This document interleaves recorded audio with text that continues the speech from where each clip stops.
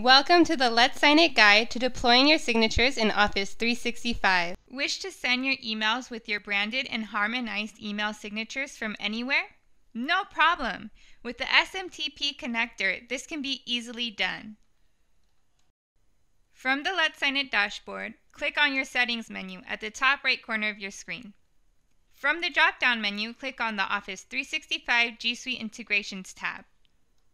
Scroll down to the SMTP Office 365 section and click on the arrow. Then, click on Configuration. A pop-up screen will appear that lists what Letsignit will need permission to, such as create an outbound connector, an inbound connector to enable the authenticated emails, and create a transport rule. Click Next.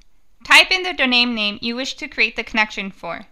If you need to update your SPF records, find the correct value below, and then click Next. Authenticate yourself by entering in your Global Administrator username and password. Click Next. Letsignit will propose the relay that appears in the DNS configuration for Office 365. Click Next. Now all you have to do is wait for Office to finish setting up the SMTP connector. You can click Close. Once the SMTP connector has finished setting up, you will receive an email. If you have any questions or would like some more guidance, do not hesitate to check out the article listed in the description below. Now you can enjoy your signatures from any device at any time. Thank you for your interest in Letsignit, the go-to email signature manager for Office 365.